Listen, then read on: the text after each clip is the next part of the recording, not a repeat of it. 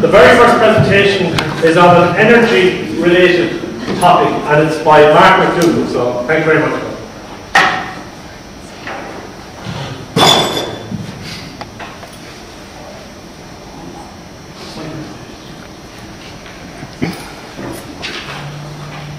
So good afternoon folks, my name is Mark McDougall and I'm here to present my final year project design, manufacture and test solar heat engine generator. Contents of the presentation, I'll take you through choosing a heat cycle, mine is a Stirling cycle, so I'll take you through the Stirling engine, some advantages, uses and different types. I'll take you through the design methods that I used in designing my engine. I'll take you through the design and manufacturing testing of this particular engine and then a demonstration of the Stirling engine in operation. So all you did your thermodynamics last year.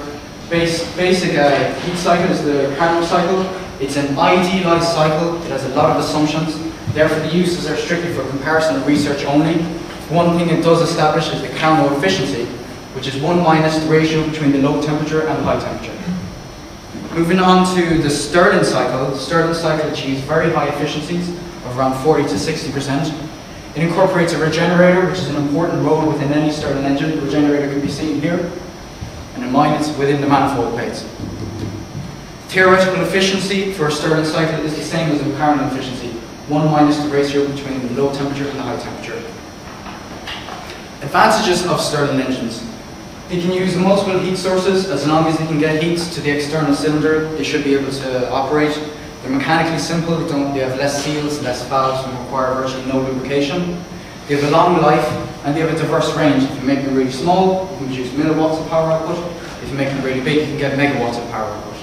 They're also an air-independent engine, which means as long as it gets its heat supply and has the volume within it, it should be able to operate. The future and present uses of the Stirling technology. At the moment, there's a lot of research going into solar electricity generation, also combined heat and power, I don't know if you've come across it. Combined heat and power for isolated domestic areas.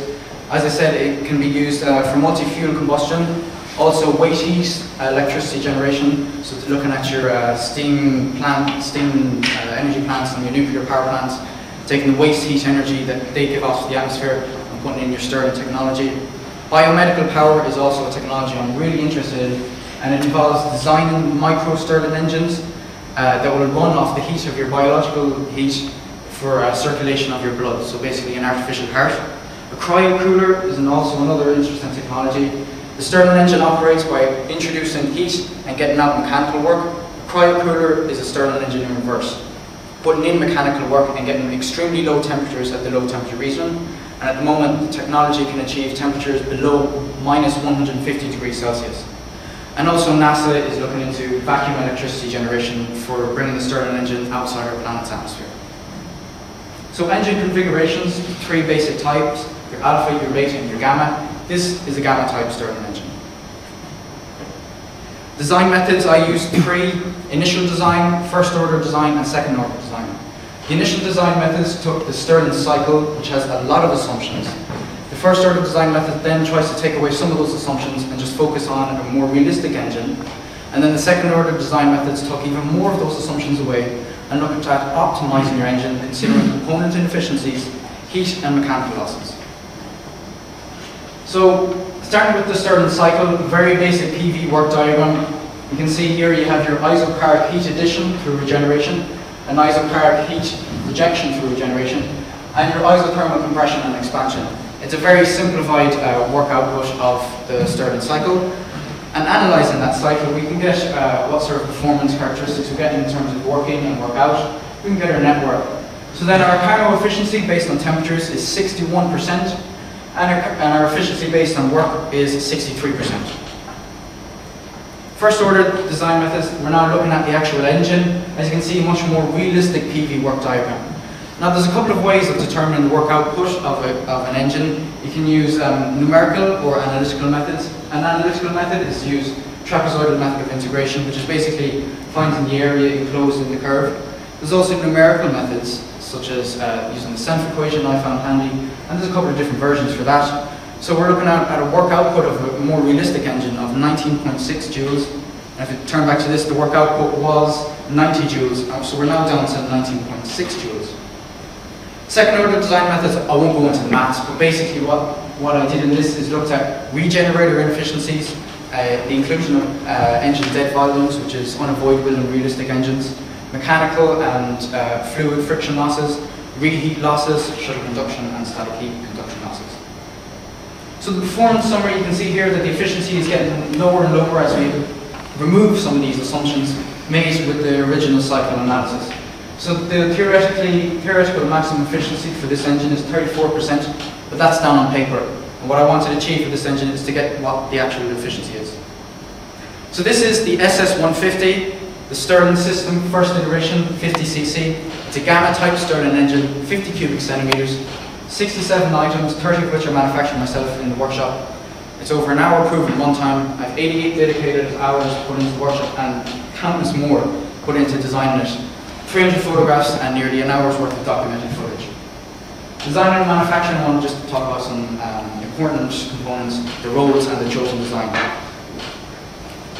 So as I said, 67 items, 30 of which are manufactured utilising materials such as aluminium, stainless steel, silver steel, brass and copper.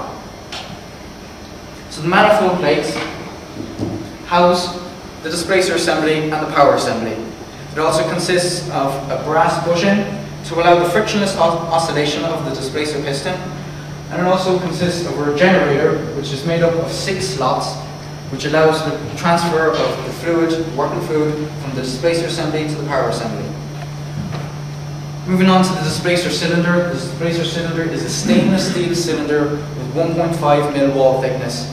Its role is to transfer the thermal energy to the working fluid at the high temperature zone and from the working fluid at the low temperature zone. An ideal displacer cylinder is designed to have high thermal conductivity across the latitude, which is cross-sectionally, and low thermal conductivity across the longitude, which is along the length. Inside of the displacer cylinder then is the displacer piston. The role of the displacer piston is to transfer the working fluid from the high to the low temperature zones. An ideal displacer piston will have low viscous pumping losses, low thermal conductivity, low weight and be non-porous. My displacer piston design consists of a stainless steel tube supported at both ends with aluminium caps with a silver steel conrod. The bearing housing simply houses the bearings and the bearing sleeve which will later house the shaft. The flywheel is a rotational energy storage device. With the kinetic energy it can potentially store is directly proportional to half the rotational moment of inertia times the angular velocity squared.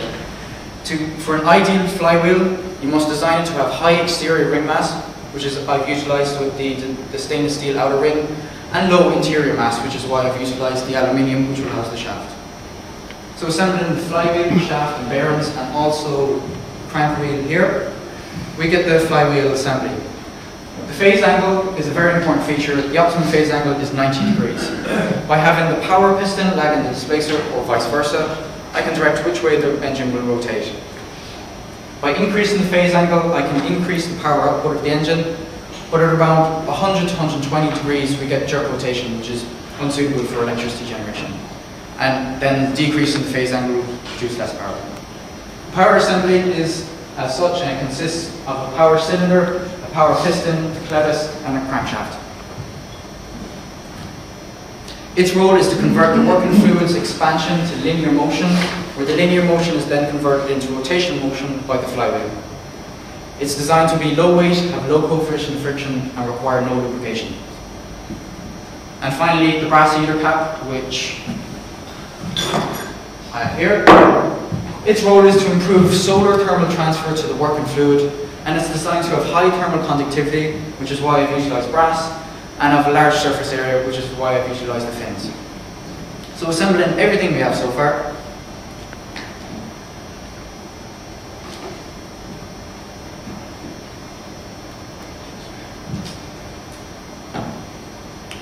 So you've all heard of ANSYS, but you have no idea what it does. What I did is to justify my design, looking at the displacer cylinder material, comparing stainless steel and aluminium. I also looked at heater cap effectiveness. So to quickly run through what I did, I applied a 400 degrees C uniform temperature here in the red at the high temperature zone. The blue here on the top diagram is the low temperature region and it reached a temperature of 84 degrees C, which equates to a Carnot efficiency of 79%. Utilizing aluminium and giving it the same conditions, 400 degrees C, the high temperature. The low temperature region reached a temperature of 189 degrees C, equating to a Carnot efficiency of 53%. It's a 66% reduction in the temperature and 26% in the, in, in the Carnot efficiency. I also looked at the brass unit cap, I'll just quickly run through this. Uh, potentially it can increase the heat length from 15 millimeters to 42 millimeters. However, it does unfortunately increase the lower temperature region from 84 to 96 degrees C. The Fresnel lens is what I use for focusing solar radiation. Uh, just some important figures were I was getting a solar input of 430 watts per meter squared, which is below average for Ireland to be honest. Uh, spot temperature focusing at 10 mil diameter, getting an outside cylinder stainless steel cylinder temperature of 1060 degrees C and an inside cylinder temperature of 710. So this morning I did some actual physical testing of the engine and you can see that the efficiency is going down. So I measured the Carnot efficiency, I was getting temperatures at the high temperature of 200 and at the low temperature 50 degrees C, equating to a Carnot efficiency of 75%. And then the works I calculated by putting in work of 400 watts, I was getting out 40 watts mechanical rotation, equating to an efficiency of 11%, which is quite good considering that the maximum achievable efficiency is 34%. So just to finish up, I want to say a special thanks to my supervisor, PJ McAllen, my co-supervisor, Gerald O'Donnell, some lecturers uh, whose notes really helped me and their support helped me, John Nolan, Oliver Ryan, Thomas Roach, and also some workshop staff, uh, John Noonan and Paul Tierney. So this is my Stirling engine. I'll demonstrate it to you now and I'll take any questions. Thank you very much. At the moment, it's running basically on the thermal capacity of the stainless steel. This is around 200 degrees C, the lower temperature is about 50 degrees C. It can be powered from solar radiation or the moment I have power. So this has an efficiency of 11% at the moment. Any questions?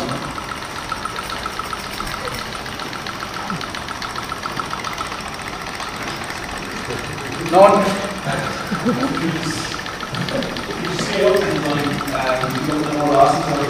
You most certainly can scale up and you will uh, see more losses, but a lot of the time you're designing your engine to give a certain power output, so you're looking to design for your power output, and then efficiencies become a secondary characteristic, but most definitely you can scale up, yes. Any more questions? Thank you very much for your time.